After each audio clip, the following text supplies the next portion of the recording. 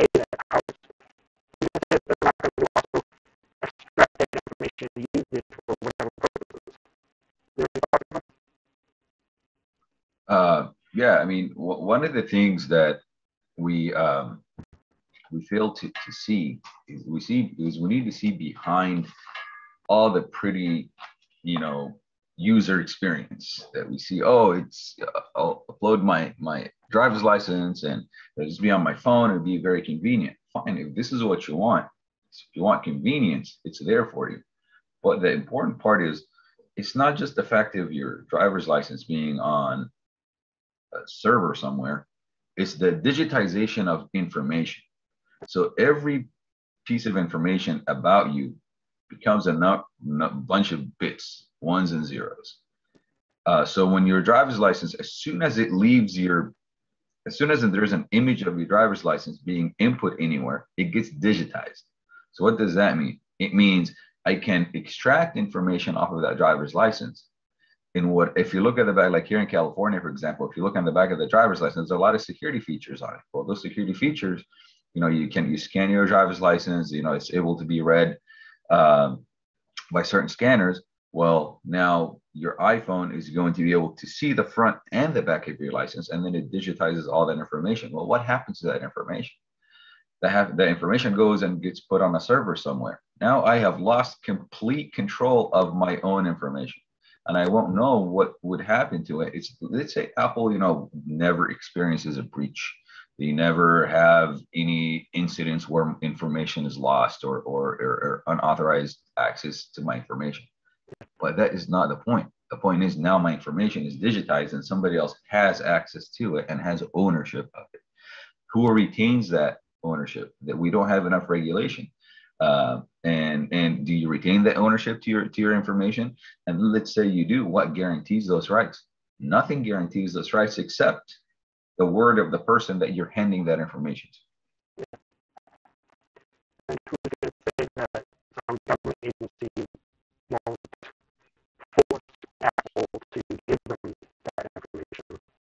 Yeah.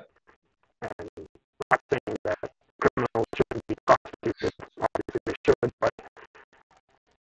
due process. We have a due process of. Yeah.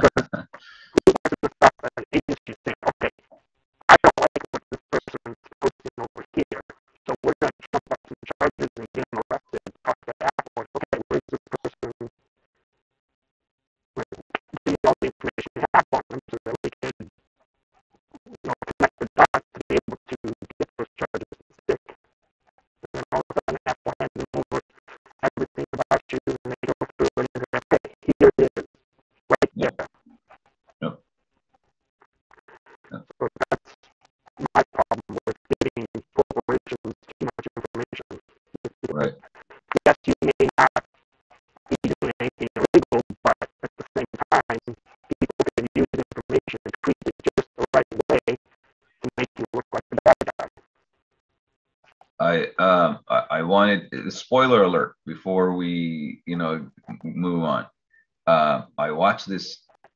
I, I'm not. I don't watch a lot of TV, right? And, and I don't, don't watch a lot of Netflix. But I I I got it was recommended this this new Netflix show called Clickbait, and I highly recommend it. Um, and then again, a spoiler alert again. Uh, you can plug your ears, Carl, if you plan on seeing it. But it's it's about uh, catfishing and it's it's a limited series, eight episodes, and it's a roller coaster of emotions.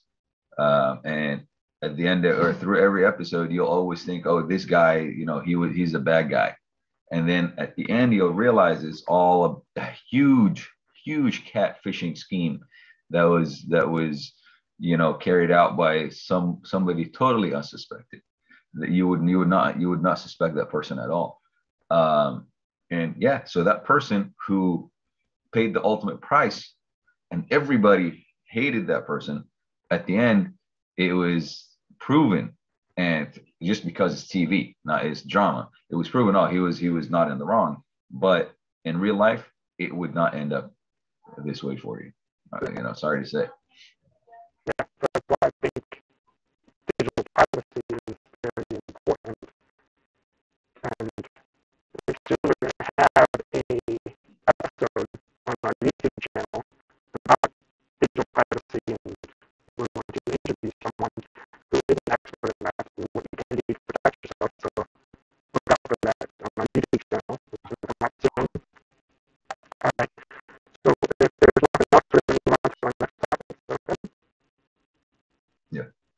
Right, so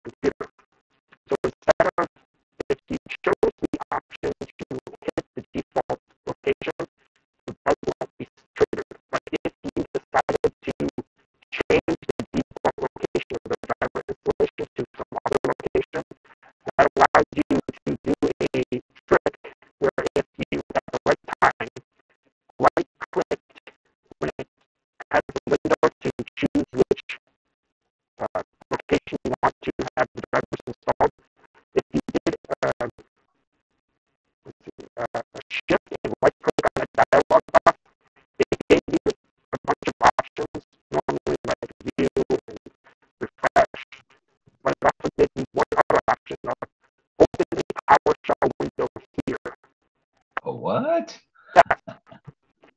nice.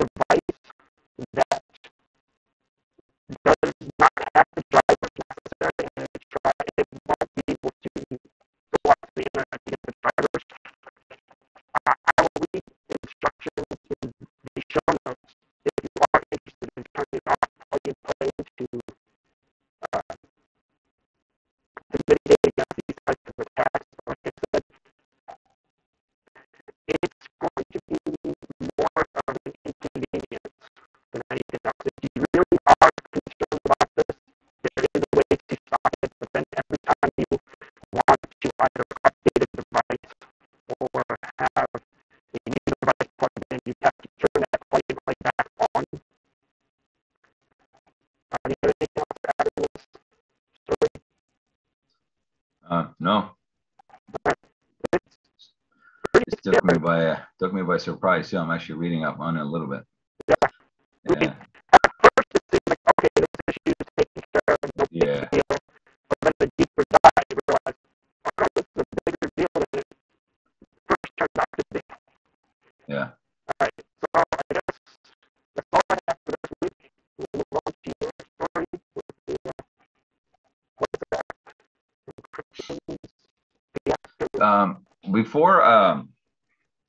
before we move on, I kind of wanted to step back to that uh, to that Apple ID thing, and um, I don't know, but why is California not on there as as one of the states that the? I mean, Apple is a California company. We uh, and we uh, I don't I think well, I know privacy laws.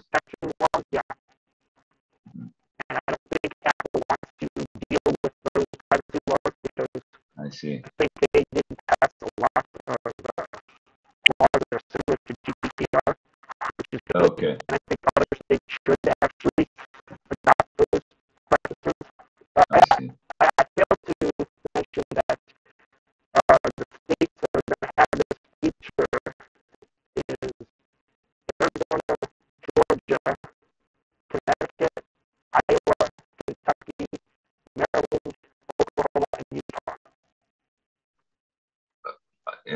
it's uh, it's it's interesting. It's interesting.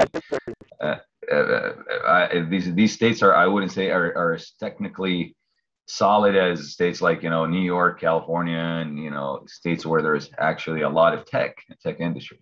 Yeah. So weird.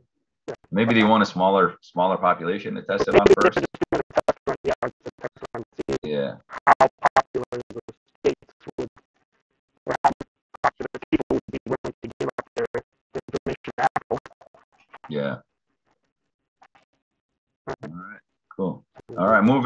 To uh, our last topic here. Um, uh, so this this uh, this was a publication by uh, ProPublica. Um, so WhatsApp moderators can read your messages. Oh, really? That's that sounds that sounds about right. Uh, if, if if you remember when Facebook first came out, before it had anything to do with when WhatsApp came came out, before it had to do anything with with Facebook, the main reason people used it, even though we didn't understand what it was, is because of end-to-end encryption. And what that means is end-to-end means from one user, from one end to the other user, the other end. That's it. There's no one in between. There's like a tunnel, right? And the information passes through that tunnel, and there's only one entry point and one exit point. Well, uh, and what what confirmed that was a 2018 Senate hearing when Zuck said, "Hey, we do not see any of the content on WhatsApp. It's fully encrypted." And of course, everybody believed him uh, because you know he was under oath. But of course, nobody can hold him responsible because he's an individual. He's not a you know he's, he's not speaking on his own behalf. He's speaking on behalf of a corporation. But anyway, we're not going to go there. Um, but uh, as of three days ago, um, if you if you read the terms of services, it says on on of course nobody reads that. We can't read or listen to your personal conversations as they are end to end encrypted, and the emphasis is there, end to end encrypted, and this will never change. Okay, well, this is not true because there.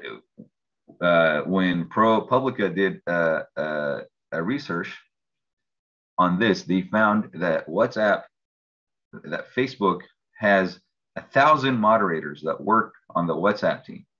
Well, if you don't see data, then why do you have moderators to begin with? And now to have that large number of moderators, that means you're actually there's a lot of data that you're looking at.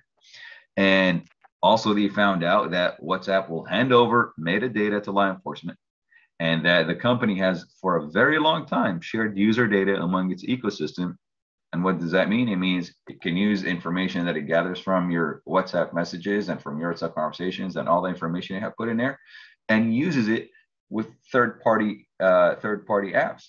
So those third-party apps can give you personalized suggestions on your online behavior.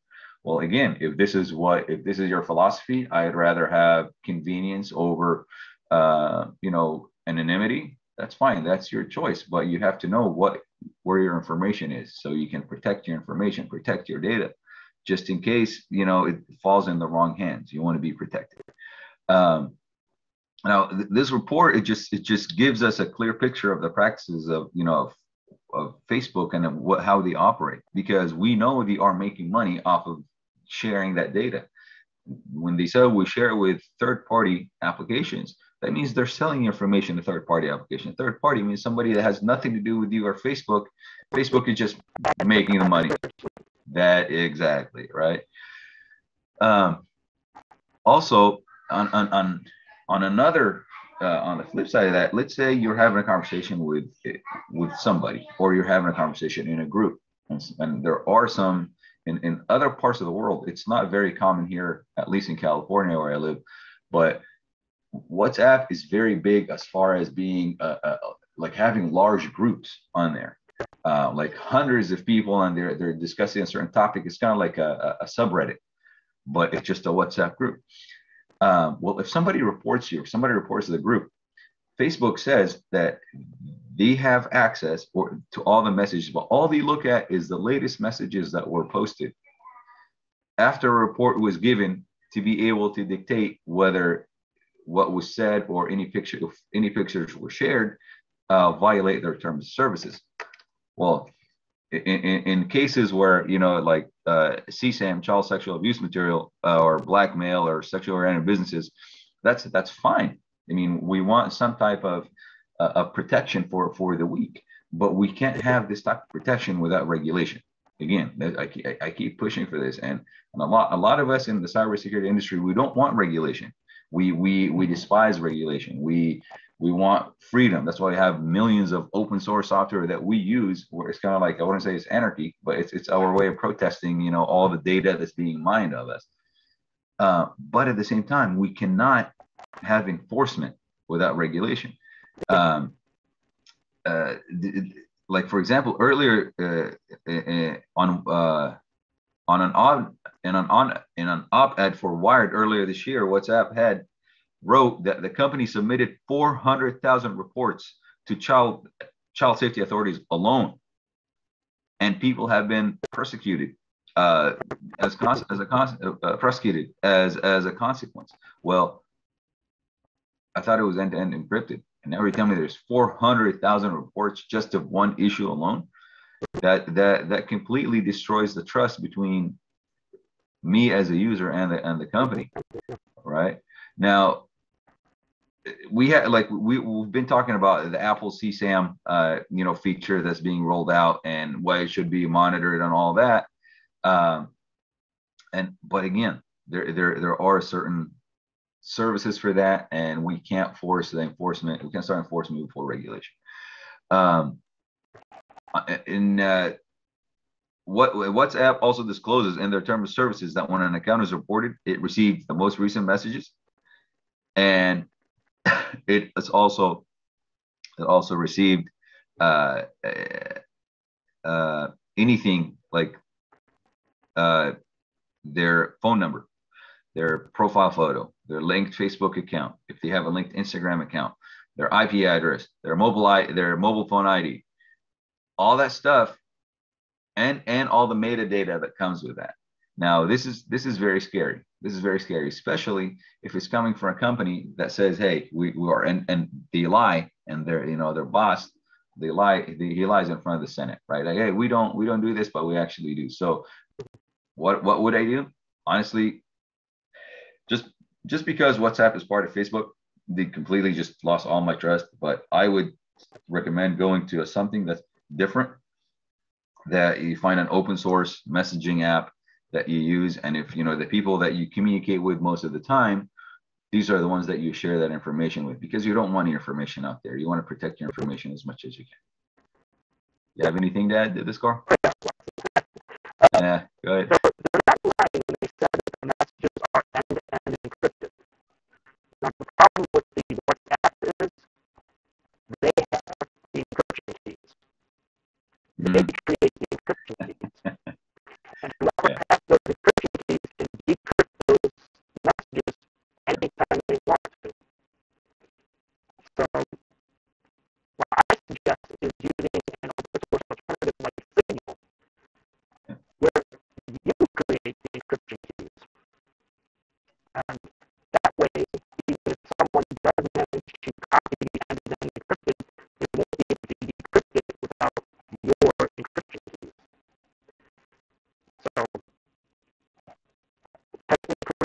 cool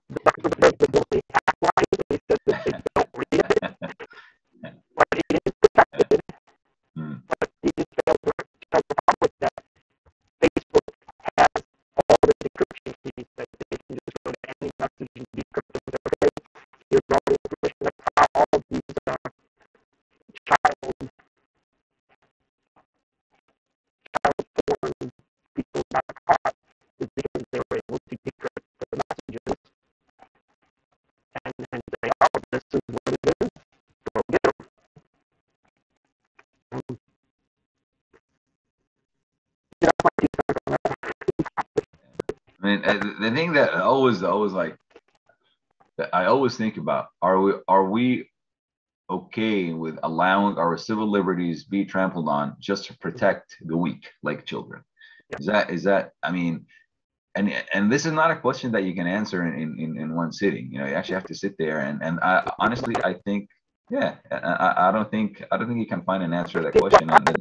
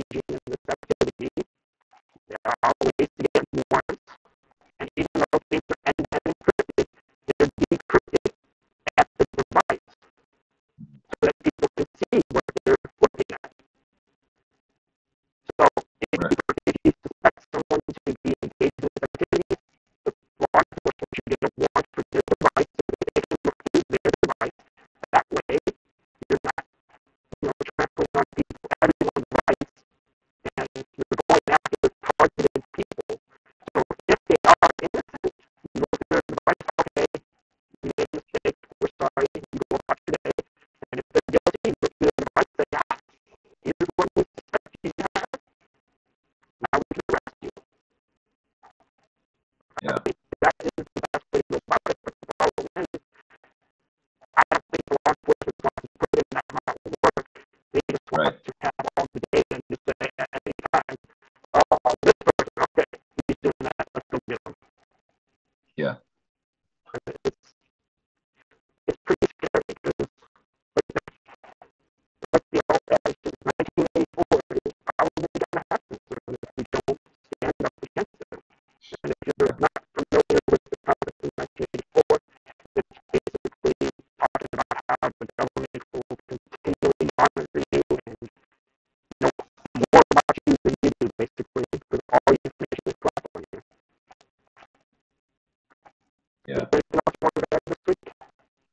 No, I think uh, I think this does it.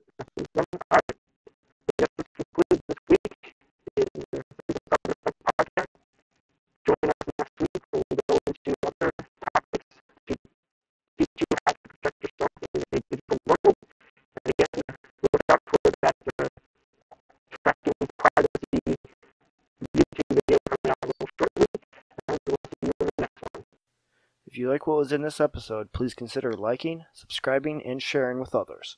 For more information, to suggest a topic, or to donate, head over to simplecyberdefense.com.